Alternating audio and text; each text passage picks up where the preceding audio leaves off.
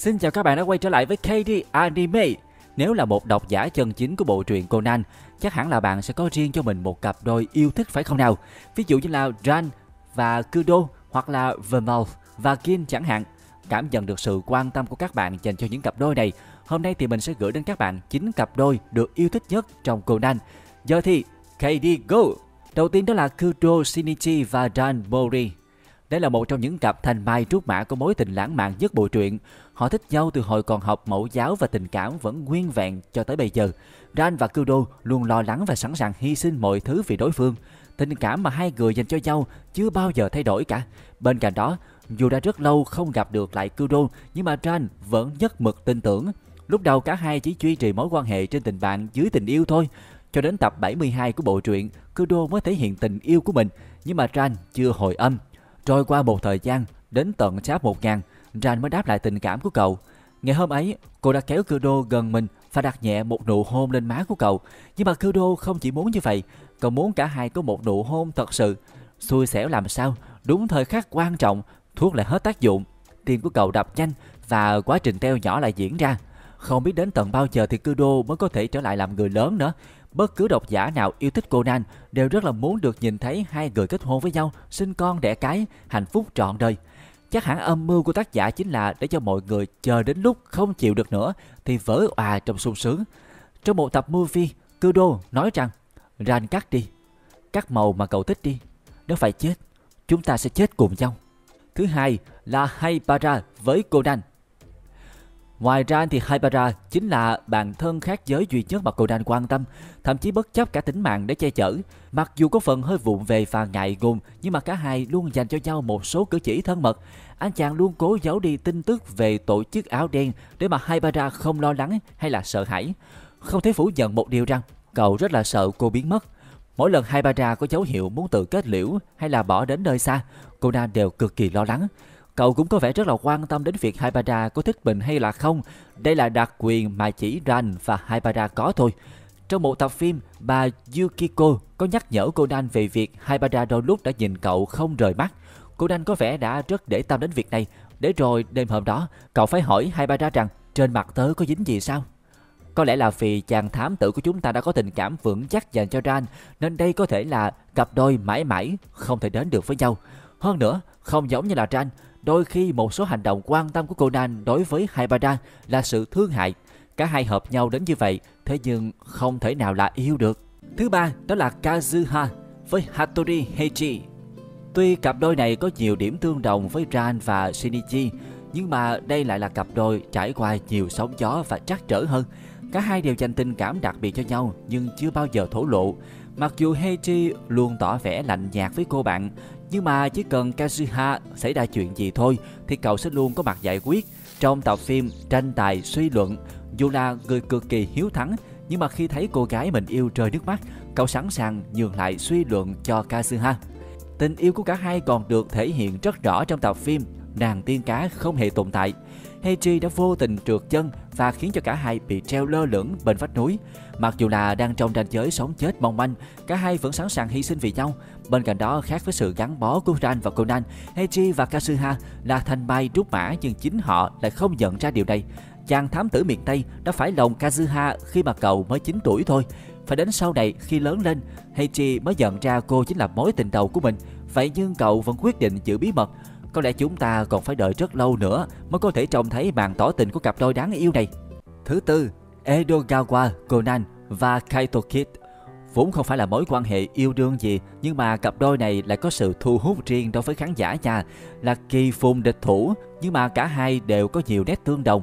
Họ có chung một kẻ thù là tổ chức áo đen.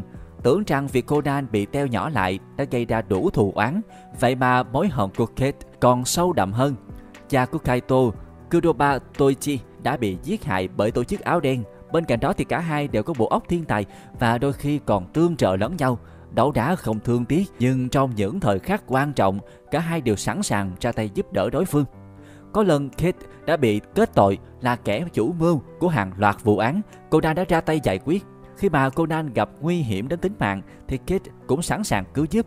Chính nhờ sự tương tác thú vị của cặp đôi này mà bộ truyện cũng trở nên hấp dẫn hơn rất là nhiều. Cặp đôi thứ năm là Hattori với Kudo Shinichi. Nếu miền Đông có Kudo thì miền Tây có Heichi. Trong đa số các vụ án, cặp đôi luôn hỗ trợ lẫn nhau. Nhưng đến khi đối đầu, họ khiến cho mọi vụ án trở nên gây cấn hơn rất là nhiều. Cả hai đều có tài suy luận, tư duy nhạy bén, trái tim dân ái và còn có cả ngoại hình nhìn rất là bắt mắt. Trong khi Kudo có khả năng suy luận sắc sảo nhờ những cuốn tiểu thuyết của Yusaku, thì Heiji lại nhờ vào mối quan hệ từ lực lượng cảnh sát.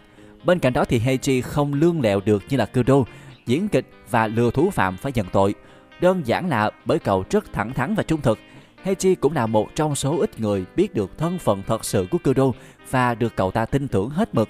Hai con người tuy có sự khác biệt về tính cách nhưng lại chung một con tim hướng về chính nghĩa cao cả. Đây có lẽ là một trong số những cặp đôi được Việt nhất trong Conan.